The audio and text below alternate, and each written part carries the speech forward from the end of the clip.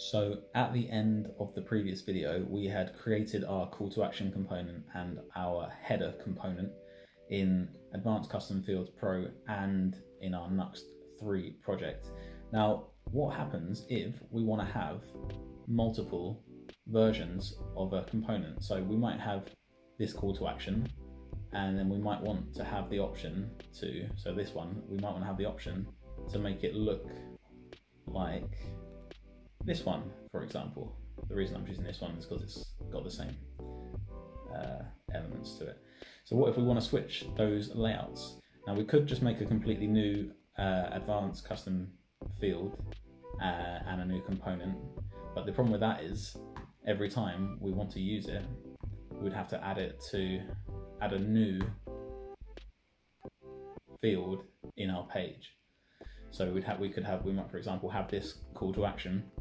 We'd also have, add another row with our call to action in version two, which would be here.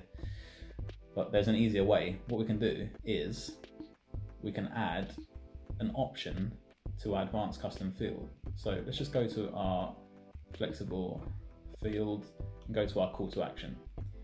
So let's go to this call to action here and we can just add another field and we'll call it option and we'll make it a, make it a radio button. So radio button, we'll call it option.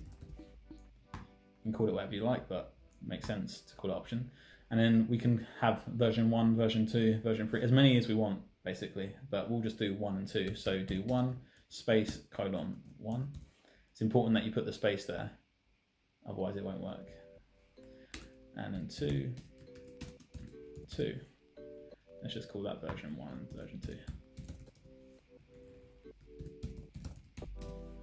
So save that. So at the moment, that's not actually going to do anything, but we'll go back to our page and we'll be able to see that we have those options there now. So let's have a quick look when it loads. Call to action.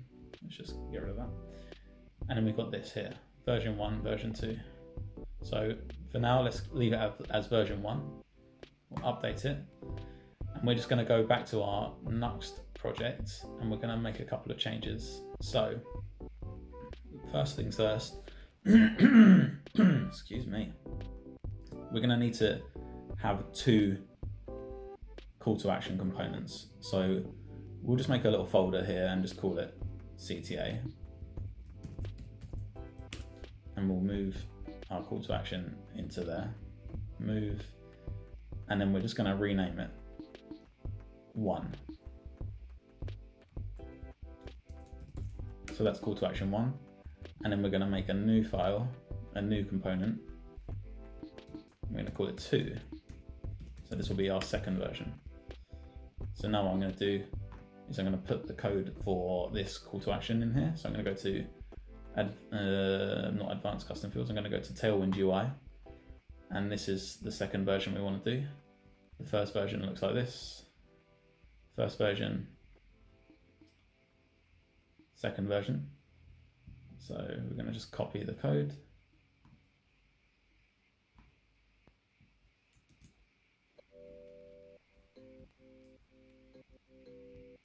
Paste that in there. And then we're just going to link up our properties right beforehand.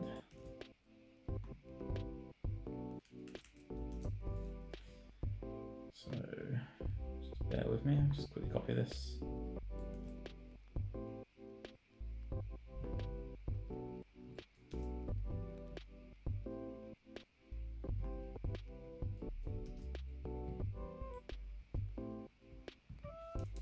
So slow at doing this. You don't realize how slow you are until you watch yourself back in a video. It's it's quite shocking.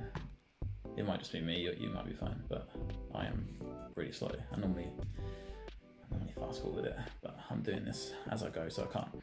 Okay, so save that.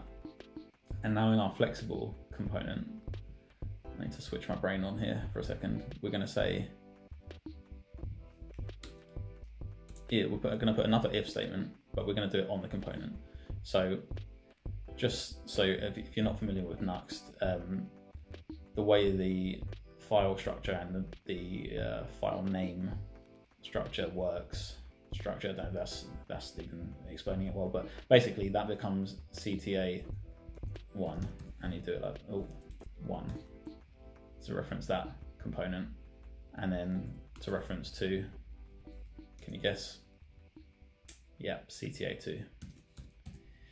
You're very good. Okay.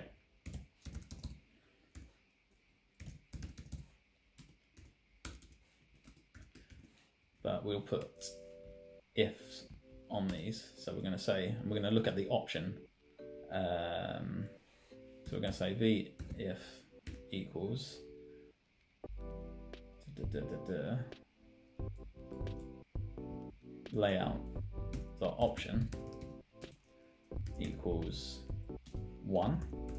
We want to show this component. And if it equals two, we want to show this one.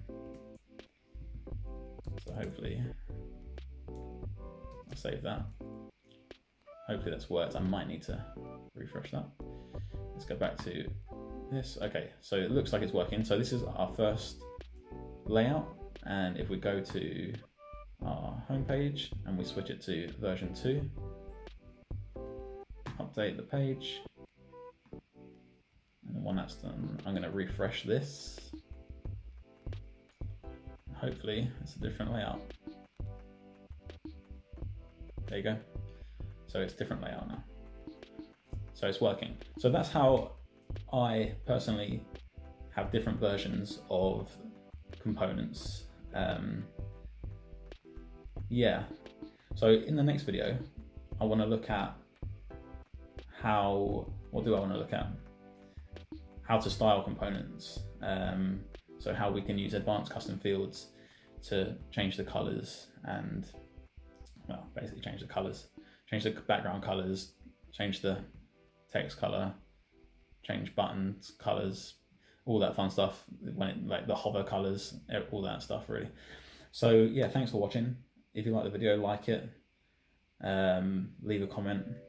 I know in, in the last video I said I don't care if you leave a comment, but I actually do really care. So please leave a comment. Please, I need this. Um, yeah, so I'll see you in the next video.